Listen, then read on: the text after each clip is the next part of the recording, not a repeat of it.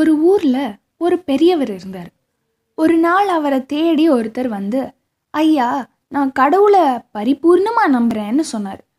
சரி அந்த நம்பிக்கை உனக்கு எப்படி வந்ததுன்னு கேட்டார் இவர். அவர் சொல்ல ஆரம்பிச்சார் ஐயா எனக்கு கல்யாணம் ஆகி பத்து வருஷம் ஆச்சு. ஆனாலும் குழந்தை பாக்கியம் இல்லை. அதுக்கு என்ன காரணமாக இருக்கும்னு நான் யோசனை பண்ணிட்டு இருந்தப்ப நண்பர் ஒருத்தர் ஆலோசனை சொன்னார். உனக்கு மதப்பற்று இல்லை.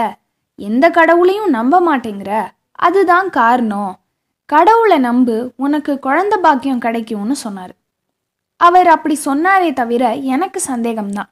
இருந்தாலும் அவர் சொன்னபடியே நடந்தது. நானும் பாப்பமே அப்படின்னு கடவுளை நம்பலான்னு முடிவு பண்ணேன். கடவுளை நம்ப ஆரம்பித்தேன் அந்த வருஷமே அழகான ஆண் குழந்தை பிறந்தது. எல்லாம் இறைவன் அருள் அப்படின்னாரு அவர். அப்படி சொன்னதை கேட்டதும் அந்த பெரியவர் சொன்னார் நீ சொல்கிறதெல்லாம் சரிதான். இருந்தாலும் இந்த காலத்தில் எந்த ஒரு காரியமாக இருந்தாலும் அதை சோதனை செஞ்சு பார்த்துட்டு தான் ஒரு முடிவுக்கு வந்து சேர முடியும். அறிவுபூர்வமான முடிவு அறிவியல் சோதனைகள் படி தான் இருக்கும். குறிப்பிட்ட விஷயத்தை பற்றி எத்தனை தடவை சோதனை பண்ணாலும் ஒரே முடிவு தான் கிடைக்கணும். அதுதான் சரியாக இருக்கும். அதனால் இப்போ மறுபடியும் ஒரு சோதனைன்னு சொன்னார். என்ன செய்யணும் அப்படின்னு கேட்டார் அவர். கடவுள்கிட்ட ஒரு பெண் குழந்தை வேணும்னு கேளு. முதல்ல ஒரு ஆண் குழந்தைய கொடுத்த மாதிரியே இப்போ ஒரு பெண் குழந்தையும் கொடுக்குறாரான்னு பார்க்கலாம். சரின்னு சொல்லிட்டு அவரும் அதே மாதிரி முயற்சி பண்ணார். அதுக்கப்புறம் அவர் அந்த பெரியவர்கிட்ட வரவே இல்லை. கொஞ்ச காலம் கழிச்சு இவரே அவரை தேடி போய் கதவை தட்டினார். அவர் கதவை திறந்தார். என்ன ஆச்சு?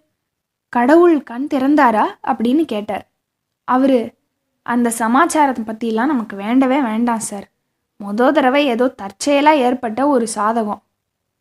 இப்போ நீங்கள் ரெண்டாவது தடவை சொன்ன பிறகு தினமும் கடவுளை வேண்டிக்கிட்டு தான் இருக்கேன். ஒன்றும் நடக்கலை அப்படின்னாரு அவர் ரொம்ப விரக்தியாக ஒரே ஒரு தோல்வியில் உங்கள் நம்பிக்கையெல்லாம் பறந்து போயிடுச்சு பார்த்தீங்களா அப்படின்னாரு அந்த பெரியவர். எல்லாம் நல்ல விதமாக நடக்கிற வரைக்கும் நம்பிக்கை. எதிர்பார்த்தது தோல்வியில் முடிஞ்சதுன்னா அவ நம்பிக்கை. மற்றவங்க பேரில் வைக்கிற நம்பிக்கையை எந்த நேரத்துலையும் விவகாரம் ஆகக்கூடிய சாத்தியம் உண்டு. நாம் நம்பிக்கை வைக்க வேண்டியது நம்ம கிட்ட தான். நமக்குள்ளே இருக்கிறாரு கடவுள். எனவே நம்ம பேரில் முதல்ல நம்ம வைக்கிற நம்பிக்கை தான் உண்மையான கடவுள் பக்தி. நிபந்தனையற்ற நம்பிக்கையாக அது இருக்கணும். எல்லாம் நல்லபடியாக நடந்துக்கிட்டு இருக்கிற வரைக்கும் முட்டாளுக்கும் நம்பிக்கை இருக்க தான் செய்யும். தியானத்தின் மூலமாக தான் உனக்குள்ள ஆழமாக தோண்டின உன்னோட அடி அடையாளத்தை நம்பிக்கை வந்து ஊற்று எடுக்கும். அதை பார்க்க முடியும் அப்படிங்கிறது பெரியவர்கள் சிந்தனை. ஒரு குழந்தை அப்பாவை பார்த்து என்னப்பா பண்ணுறேன்னு கேட்டுதான். பிரார்த்தனை பண்ணிட்டு இருக்கேன்னாராம் அப்பா. பிரார்த்தனை பண்ணா என்ன கிடைக்கும்? என்று கேட்டுச்சான் குழந்தை. எல்லாமே கிடைக்கும் அப்படின்னு சொன்னாராம் அப்பா. நீ வச்சிருக்கியே பேனா அது கூட கிடைக்குமா? அப்படின்னு கேட்டுதான் குழந்தை.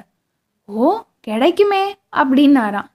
அப்படின்னா அந்த பேனாவை என்கிட்ட கொடுத்துட்டு நீ பிரார்த்தனை பண்ணி வேற பேனா வாங்கிக்க அப்படின்னு சொல்லிச்சான் அந்த குழந்தை.